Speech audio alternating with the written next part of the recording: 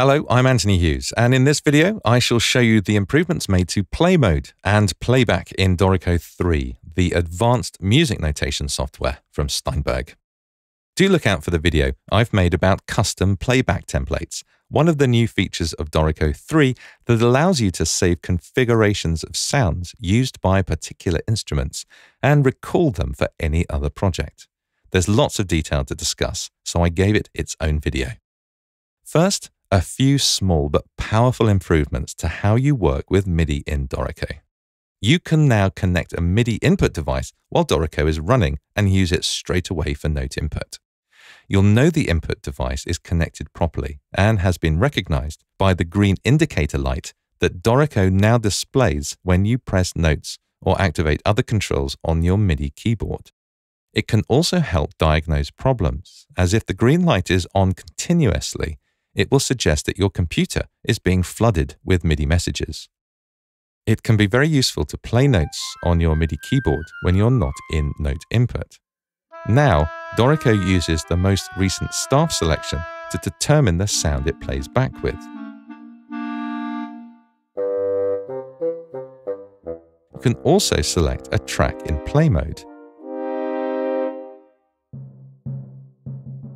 There's also a new Enable MIDI Through option on the play page of preferences that can prevent hearing sounds echoed back when using a MIDI keyboard with its own sounds.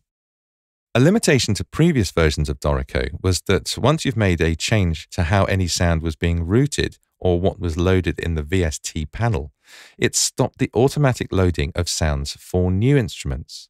That's no longer the case in Dorico 3, and you can make any necessary changes and the playback template will still know how to allocate sounds when you add a new player.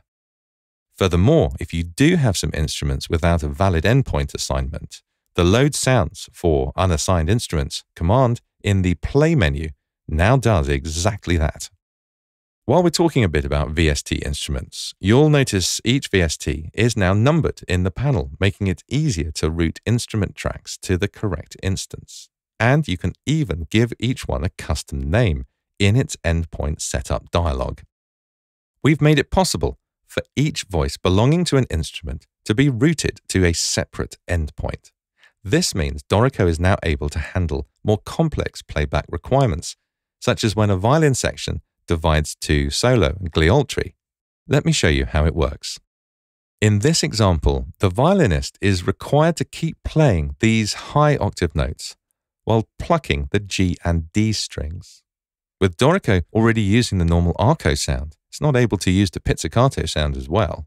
However, as the arco and pizz music are in different voices, we can use Dorico's new independent voice playback to solve this.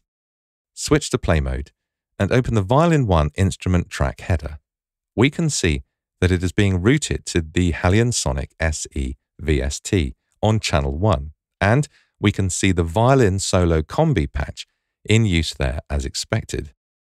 On the track header, we can enable this new control to switch on independent voice playback. That allows us to switch between the two voices found in use on that violin staff.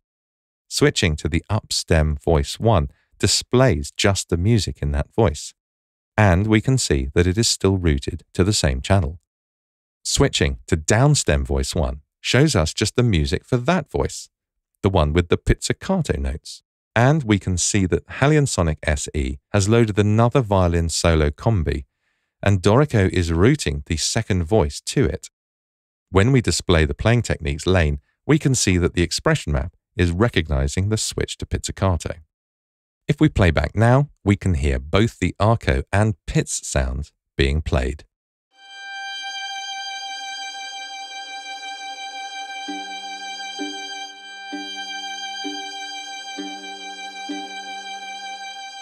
Let's have a look at another example. In this project, we have a violin instrument with a division event dividing it into two sections. By default, the music on both staves is routed to the same endpoint. However, by enabling independent voice playback, a second violin patch is loaded into Halion Sonic SE, and Dorico has some intelligence built in to select the violin 2 sound for some variants. As an added complication, we have a second flow in this project, where the violin section divides again, but this time to solo and gli altri. Let's switch back to play mode to see how we control playback for this situation. Firstly, let's select flow 2. Now, we don't want to upset what we have already configured for flow 1, so we can click this button and now what we set here will affect just this specific flow rather than all flows. Of course, Dorico has set the playback for the two voices in the same way as before, so we need to configure this ourselves a little. In this case, we want the voice from the gli altri staff, which is labeled in the drop down here as upstem voice 2, to the violins 1A combi, which is on channel 1.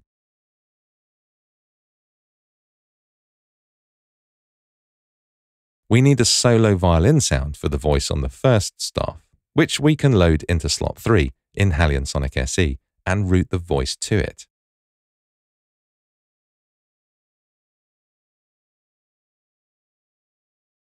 And if we play back both flows, one after the other, you'll hear the sounds used to play the different staves is different for each flow.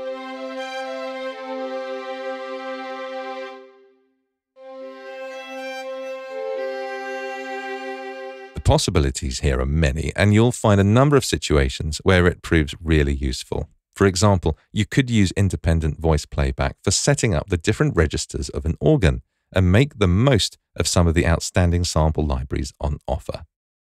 To help give you even more control over playback, we've added a MIDI note velocity editor to the play mode tracks.